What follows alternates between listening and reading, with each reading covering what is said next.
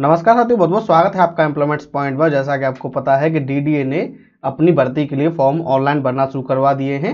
आज हम आपको ये फॉर्म भर के दिखाएँगे, स्टेप बाय स्टेप आपको समझाएँगे कि आप किस तरीके से फॉर्म भर सकते हैं और आपको कोई समस्या आ रही है तो आप उसका समाधान किस प्रकार कर सकते हैं। चलिए शुरू करते हैं। सब्सक्राइब कीजिए एम्प्लॉयमेंट्स पॉइंट चैनल को और पाइए गवर्नमेंट जॉब्स की लेटेस्ट अपडेट्स और साथ ही बेल आइकन को प्रेस करना न भूलें। तो साथ ही सबसे पहले हम सीधे ही डीडीए रिक्रूटमेंट दो सर्च करेंगे और जॉब्स डीडीए पे क्लिक कर देंगे, जैसे ये विकल्प आएगा। यहाँ डायरेक्ट रिक्रूटमेंट दो लिखा हुआ है, इस पर हम क्लिक करेंगे। तो यहाँ डायरेक्ट रिक्रूटमेंट दो link for online registration and submission of application आ रहा है। हमको इस पर क्लिक करना है। अगर आपने पेज क्वालिफिकेशन के बारे में नहीं पढ़ा है तो आप डीडीए रिक्रूटमेंट नोटिफिकेशन पे जाके वहाँ से पढ़ सकते हैं, उसके बाद ही आप ऑनलाइन अप्लाई करेंगे। तो हमने पढ़ रखा है तो हम यहाँ डायरेक्ट रिक्रूटमेंट दो लिंक पर क्लिक कर देंगे। जैसे हम इस पर क्लिक करेंगे, यहाँ थोड़ी सी जानकारी आपको मिल जाएगी। जैसे फॉर्म भरने की स्टार्टिंग डेट एक अप्रैल है लास्ट डेट तीस अप्रैल है, और फ़ीस आप चार मई तक जमा करा सकते हैं। इसके बाद यहाँ नीचे जब आप आएँगे तो यहाँ ये एक डिक्लेरेशन होगा, जिसको आपको पढ़ना होगा। I agree that I have read and understood clearly all above instruction and eligibility conditions, including advertisement for the post, I am applying and agree to abide all conditions during the process of recruitment. हम यहाँ click करेंगे, उसके बाद आप और start पे click कर देंगे। जब आप अगली बार आएँगे तो आप रजिस्टर्ड कैंडिडेट वाले पे क्लिक करेंगे। उसके बाद एक विंडो खुलेगी, जिसमें आपको जानकारी दी जाएगी कि इंटरनेट एक्सप्लोरर वर्जन 11 या फिर मोजिला फायरफॉक्स वर्जन 55 टू 72 या फिर गूगल क्रोम वर्जन 58 टू 80 पर आप फॉर्म भरेंगे तो अच्छा रहेगा। इसको आप क्लोज कर देंगे, उसके बाद आप पर्सनल डिटेल भरना शुरू करेंगे। सबसे पहले आप पोस्ट का नाम भरेंगे।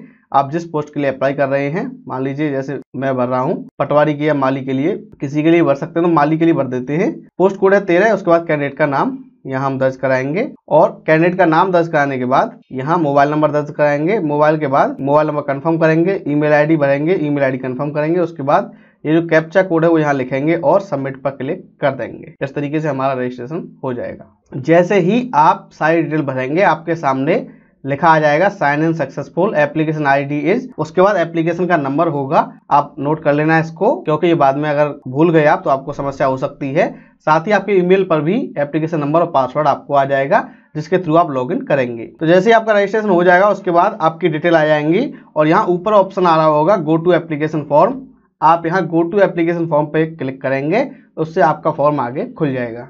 और अगर आप गलती से लॉग आउट हो जाते हैं तो आपको लॉगिन कैसे करना है? कि आपको दोबारा से उसी फॉर्म प्रोसेस पे जाना है। आपके सामने फॉर्म का जो विकल्प है वो खुलेगा, जो वेबसाइट पे आ रहा है। ऑनलाइन रजिस्ट्रेशन लिंक आप उस पर क्लिक करेंगे, आप नीचे आएँगे, उसके बाद already registered candidate click here to log in पर क्लिक करेंगे। उससे पहले आपको टर्म्स एंड कंडीशन पढ़नी होंगी और आप यहाँ क्लिक कर देंगे। यहाँ आप अपनी यूज़र आईडी डालेंगे जो आपकी ईमेल आईडी पर आई हुई है और यहाँ आप अपना पासवर्ड डालेंगे जो आपके ईमेल पर आया है। उसके बाद आप लॉगिन कर देंगे। और दोबारा से वही नोटिफिकेशन आपके सामने आएगा, इसको क्लोज कर देना।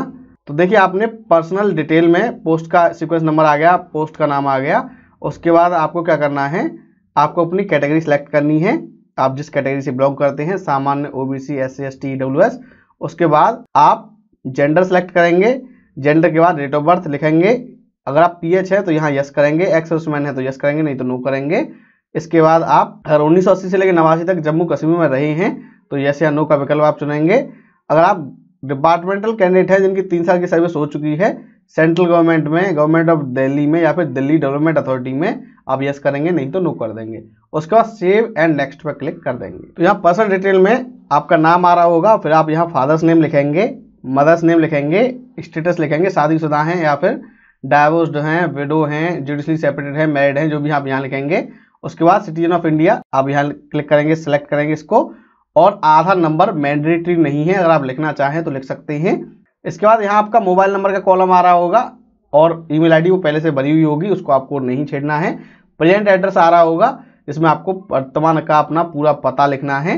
कंट्री इंडिया स्टेट का नाम सेलेक्ट करना है सिटी का नाम पिन कोड और अगर आपका परमानेंट एड्रेस भी यही है तो आप यस कर देंगे। उसके बाद आप सेव एंड नेक्स्ट पर क्लिक कर देंगे और आगे बढ़ जाएँगे। और आप जैसे ही नेक्स्ट पर क्लिक करेंगे, आपकी यहाँ एजुकेशन क्वालिफिकेशन की डिटेल आ जाएगी। यहाँ बोर्ड का नाम लिखेंगे, किस ईयर में आपने पास किया था, किस इंस्टीट्यूट से किया था, यानी स्कूल से किया था। सब्जेक्ट क्या गए थे वो आप यहाँ लिखेंगे और परसेंटेज आपकी कितनी थी वो आप यहाँ लिखेंगे। सीजीपीए जो है उसको 9.5 से गुणा करना है, उसी के आधार पर आपका ये तय होगा। और जो परसेंटेज है वो आप दो डेसिमल तक लिखेंगे, यानी मान लीजिए आपकी छप्पन परसेंट है तो छप्पन पॉइंट ज़ीरो ज़ीरो लिखेंगे, इसको राउंड ऑफ़ नहीं करेंगे। इस चीज़ का आपको ध्यान रखना है, क्योंकि ये मेरिट बनाई जा सकती है, अगर नंबर ऑफ़ कैंडिडेट ज़्यादा होते हैं तो। तो इसलिए आपको इस चीज़ का ध्यान रखना है कि आप एग्जैक्ट परसेंटेज लिखेंगे। उसके बाद अगर ट्वेल्थ वाले हैं तो वो भी डिटेल आप यहाँ भर देंगे। अगर आप डिग्री आपने प्राप्त कर रखी है तो वो भी आप लिख देना। और पीजी है तो वो भी आप लिख देंगे। इसके अलावा वर्क एक्सपीरियंस अगर है तो आप यहाँ प्लस करके उसमें पूरी जानकारी भर देना। अगर नहीं है तो कोई दिक्कत नहीं है। आप बिना एक्सपीरियंस के भी फॉर्म भर सकते हैं, ऐसी कोई दिक्कत नहीं है। सिर्फ़ अगर नंबर ऑफ़ कैंडिडेट दस हज़ार से ज़्यादा होते हैं तो उनको कम करने के लिए एक्सपीरियंस के बेस पर कैंडिडेट को शॉर्टलिस्ट कर दिया जाएगा। लेकिन उनको दस हज़ार तक रखा जाएगा। यानी दस हज़ार कैंडिडेट तो एग्ज़ाम में अपियर होंगे ही होंगे, उससे कम नहीं होंगे। ज़्यादा अगर कैंडिडेट होते हैं तो उनकी छटनी के लिए एक्सपीरियंस का ये जो प्रोसीजर है, वो लागू किया गया है। उसका आप यहाँ भर देंगे, अगर एक से ज़्यादा है तो एड न्यूरो पर क्लिक करके भर देंगे और सेव एंड नेक्स्ट पर क्लिक कर देंगे। इससे आगे आपका फॉर्म बढ़ जाएगा।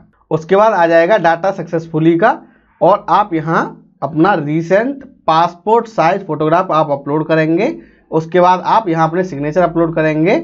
ये सब अपलोड करने के बाद आप यहाँ डिक्लेरेशन में पढ़ेंगे एक बार, और ये जो लिखा हुआ आपका कैप्चा कोड आएगा, उसको भर देंगे और सबमिट कर देंगे। इसके बाद आपका फ़ीस का विकल्प खुल जाएगा। आप फ़ीस जो है, वो ऑनलाइन पे करेंगे। और अगर आप एस एस वाले हैं वुमेन कैंडिडेट है तो आपको फ़ीस पे नहीं करनी है। तो आप फ़ीस का पेमेंट करेंगे, उसके बाद आप फॉर्म भरने के बाद उसका प्रिंटर निकलवा के अपने पास सुरक्षित रख लेंगे। साथ ही ये थी जानकारी डीडीए में जो वैकेंसी आई हुई है, उनके लिए फॉर्म कैसे भरा जाएगा, हमने आपको बताया।